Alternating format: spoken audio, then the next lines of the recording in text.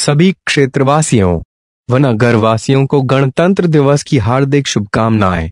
सचिन राजपूत पिनाहट आगरा की ओर से, city today समाचार के साथ।